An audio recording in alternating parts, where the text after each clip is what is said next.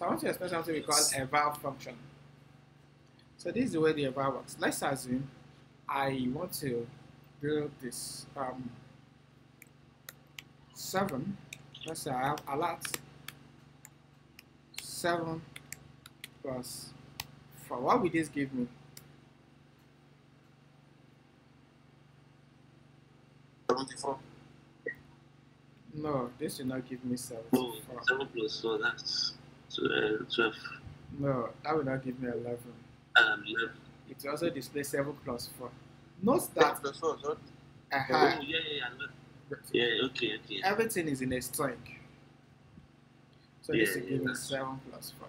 This is different from saying 7 plus 4. This will give me 7 4, 74.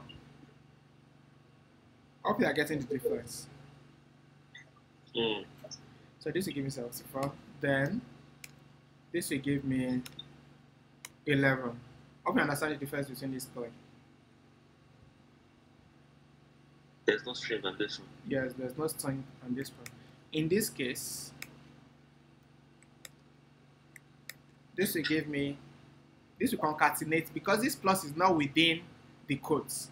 It's going to take this plus now as a concatenator and it will concatenate these two together. This gives me 7 4. But when this plus itself is within a quote like this, you know, whatever is within quote is going to be read as ordinary string. So this is going to alert 7 plus 4. Do we get the difference? So we can now tell JavaScript that, see, don't alert 7 4 here. Uh, don't alert 7 plus 4 here. I want you to evaluate whatever is inside this place.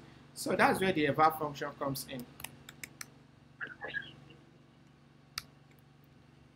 This will evaluate this string. It will treat it as though what you have there, they are, uh, they are numbers. Do you understand? Mm. yeah. Uh, So it's going to evaluate it for you, and uh, that will still give you that will give you 11 now.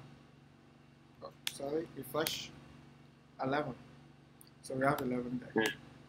So that's the work of the eval function. Any question before we leave? Mm.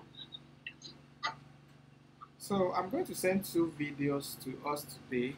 I think I mistakenly uh, recorded the solution, like it was for a split second. So that was why I stopped recording there. Uh,